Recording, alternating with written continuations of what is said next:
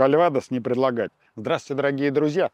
Вот и осень наступила плоды сада уже пора убирать на хранение, потому что чем раньше вы их снимете, тем, грубо говоря, э, для многих сортов лучше. Не стоит ждать подмораживания их ночными заморозками. В том году у нас 3 сентября, я живу в московском регионе, зовут меня Николай Качалин. Э, и в том году 3 сентября у нас был заморозок. Мне побило тыкву, побило плоды. А в этом году пока вот уже 10, 10 да, сегодня 10 сентября, и заморозка, слава богу, пока не было, потому что у меня еще растет одна тыковка. Ей бы еще месяцок бы, если будет бабье лето шикарное, было бы хорошо.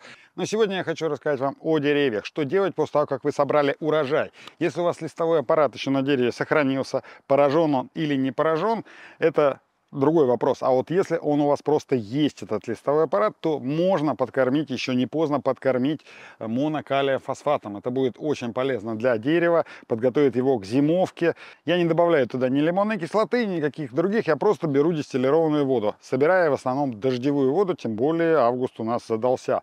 Беру пластиковые бутылки, набираю во время дождя их, и несколько дней она прекрасно себе и хранится. После этого я обрабатываю деревья, и вот как раз конец августа, начало самое сентября, пока листовой аппарат еще зеленый, тогда можно подкормить деревья. Это даст им сил на то, чтобы подготовиться к зиме лучше. То есть деревьями это вещества все полезные впитаются, и, соответственно, они пойдут э, в древесину, а в древесине уже, соответственно, не замерзающая жидкость, как говорится. И, соответственно, с деревья лучше у нас подготовиться к зиме. И ни в коем случае нельзя сейчас, в начале сентября, в середине сентября подкармливать деревья никакими азотными удобрениями, тем паче делать обрезку. Вместо того, чтобы дерево бы потратила бы сейчас силы на накопление энергии на весну, на укрепление корневой системы, на подготовку вот этих вот всех своих питательных веществ для зимовки, а потратит их опять на новый скачок роста. И это приведет, скорее всего, к просто вымерзанию дерева зимой. Какая она будет зима, мы не знаем. И вот на меня светят последние лучики уходящего солнца. Но помните, друзья, что лето вернется, а время, которое мы теряем, так сказать, оно уже не вернется. Обращаем внимание на свои деревья, чем они поражены. Если листовой аппарат у вас вообще не поражен никакими напастями, вот у меня на груша, например, ржавчина, вот эти вот листья можно убрать спокойно в компост, можно закопать в землю, не обязательно их сжигать. Все равно где-нибудь растет у вас можжевельник, и ржавчина, она зимует у нас на можжевельнике, а весной размножается и летом на грушах. Поэтому это двудомное как сказать, растение, животное, ну, гриб, короче, двудомный. Поэтому, если есть одно и другое растение, то если вы обрабатываете, договаривайтесь с соседями, обрабатывать все это дело одновременно. Сейчас самое время пройтись по своему саду, убрать все гнилые плоды, собрать падалицу. Вот это вот нужно сделать. И все это дело можно убрать в компост, не переживая насчет того, что это все спокойно у вас там перезимует и, соответственно, Э, вы только это расплодите. Нет, садовые болезни на огород у нас не переходят. И пораженную листву мы осенью собираем. И, соответственно, ее утилизируем в компостер. На нижние слои компостера укладываем и не переживаем. Еще несколько слов о том, как сохранить свой урожай. Для того, чтобы сохранить яблоки, конечно же, нужно посадить яблоню зимнюю, осенне-зимнюю, которые вот плоды сейчас в сентябре мы собираем и укладываем на хранение.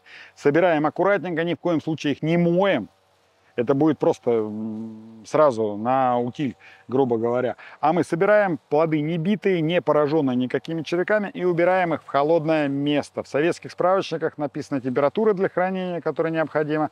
Это около 0 градусов, 0-4 градуса. Если у вас есть такая возможность, такой холодный погреб, отдельно от картошки провоняют они картошкой, эти яблоки, и будут невкусные уже через пару месяцев. Поэтому отдельное хранилище с низкой температурой, 2-3 градуса тепла, и яблоки у вас будут лежать практически бесконечно, пока вы их не съедите. И раз уж вы решились на эту эпопею, которая сопряжена с выращиванием сада, то уж будьте добры следить за ним. Не бывает полностью безуходного сада. То, что вам рассказывали где-то или у вас по старой памяти, там вот я у бабушки в деревне, э, там в каком-то 53-м году был, там яблоки сами росли. Во-первых, тогда была меньшая плотность застройки, меньшая плотность людей, меньшая плотность э, сортов, э, меньшая плотность деревьев. Это вообще меньшая плотность была и меньше болезней было привезенных, потому что сейчас тащат, ну, во всяком случае, тащили всю эту гадость Европы, притащили нам этих испанских слизней, поэтому не гонитесь вот за этими диковинками. И, кстати, у меня в саду растут практически все старые, старинные сорта. И даже вот этот сорт, кандилер лоски, у меня достаточно уже старый на сегодняшний 2023 год. Дорогие друзья, вам и вашему саду, как всегда, в завершении ролика я пожелаю здоровья, а все остальное приложится. И поставьте, пожалуйста, лайк. Вы же досмотрели видео до конца. Обязательно задавайте вопросы, если они у вас остались после просмотра данного ролика. До свидания, до новых встреч!